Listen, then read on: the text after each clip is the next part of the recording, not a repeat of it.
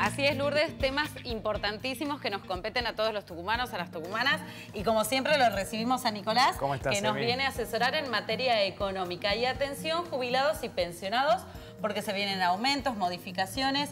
¿Qué es lo que tenemos que hacer? A ver, eh, jubilaciones y pensiones es uno de los temas centrales en la economía del país, en la política social de todos los gobiernos. Eh, y es por eso que no nos olvidemos que en lo, cada mes de septiembre, diciembre, marzo y junio tenemos movilidad previsional. Desde este mes comenzó a regir desde el viernes la movilidad del 23,29% para jubilaciones y pensiones a partir de este mes, EMI. Y vamos a repasar cómo quedan los números de las jubilaciones y pensiones durante los próximos tres meses. Es decir, vamos a hablar del mes de septiembre, del mes de octubre y del mes de noviembre. ¿Bien? Es por eso que con el nuevo aumento, la jubilación mínima, el haber mínimo garantizado, artículo 125 de la ley 24241, queda en el monto de 87.459 pesos con 76 centavos. Eso es lo mínimo que gana un jubilado, un pensionado. Es lo este mínimo, es lo mínimo, estaba en 70.900 pesos, pasa a 87.400, es lo mínimo que gana un jubilado. A esto vamos a hablar ahora del tema del refuerzo provisional que se lo conoce como un bono, que ya vamos a ver que es un adicional. Pero en teoría nadie puede ganar menos de 87.400 pesos. Así como hay un piso, bien, Emi, también hay un máximo, es decir, nadie, ningún jubilado del régimen previsional que tenemos actualmente puede ganar más de 588 mil pesos. Bien, así hay un haber mínimo, un haber máximo. Ese es el techo. Nadie puede ganar por encima de los 588 mil pesos. También tenemos uno de los parámetros también de previsional, de lo que es jubilaciones y pensiones, de la, la famosa pensión universal para el adulto mayor, que recordemos. Juan. PUAM, la famosa PUAM, tiene cobertura del PAMI, tiene el 80% del haber mínimo jubilatorio, es el valor, es para aquellas personas que teniendo 65 años de edad, indistintamente sean hombres o mujeres, van a poder acceder a una prestación de carácter vitalicio que conocemos como PUAM, pero que no pueden acceder a la jubilación. Hoy en día la mayoría de las personas puede acceder a la jubilación, así que está quedando medio en desuso, pero todavía hay personas que perciben la PUAM. Eh, ¿De cuánto estamos hablando? 69.967 pesos con 81 centavos. Pasamos en limpio la PUAM y la jubilación. ¿Qué te convendría en ese caso? Tenés 65 años, accedes a la PUAM, pero cuando eh, vas cumpliendo los requisitos, los años, la antigüedad o compras este, tu jubilación, tus aportes, ¿te conviene pasar de la jubilación o no, Nico? Exactamente. A ver, recordemos lo siguiente.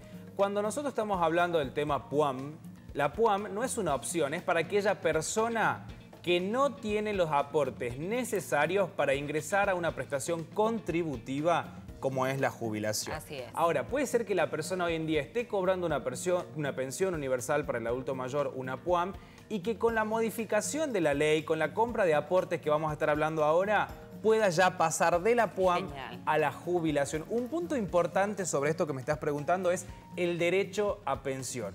Una persona que fallece, supongamos un matrimonio, ¿de acuerdo? Están los dos cónyuges.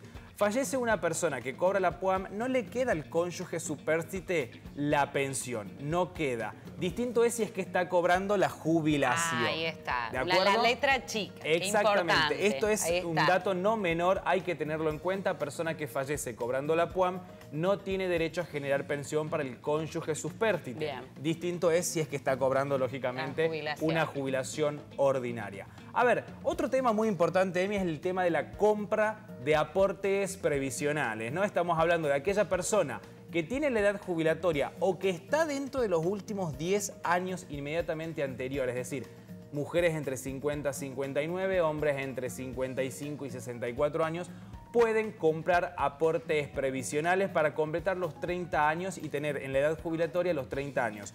El valor de la compra está en el orden de 8.542,36. Es decir, 8.500 pesos cada mes que usted necesite comprar. Si necesitamos comprar 10 meses de aporte son 85.000 pesos. Bien, esto hay que hacer un cálculo pormenorizado. Y otro tema muy importante, Emi, es el bono.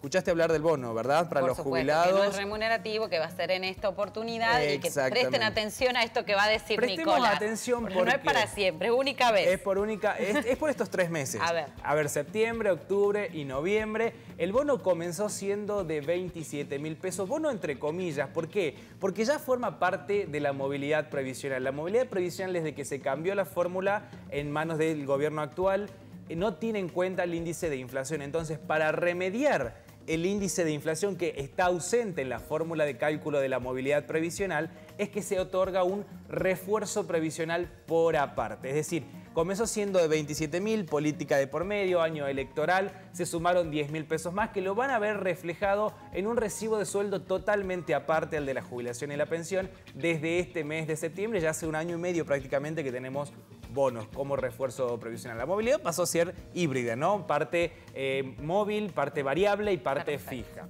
Así que bueno, estos son los números. Como siempre, eh, para obtener la mejor jubilación posible es necesario contar con un profesional que tenga eh, conocimiento, que tenga experiencia en jubilaciones y pensiones. Y para eso lo tenemos a Nicolás. ¿Dónde te encuentran, Nico? Bien, vamos a vernos de lunes a viernes de 9 a 17 horas en Salta, 78 segundo B o al 254 71 60 o a mis redes sociales. Ahí la tenemos, Nicolás. Arroba Nicolás AG94 en Instagram. Bueno, toda la información y siempre de la mano de los profesionales, como lo decía Nico, será hasta el próximo lunes. Hasta el próximo lunes. Seguimos con más.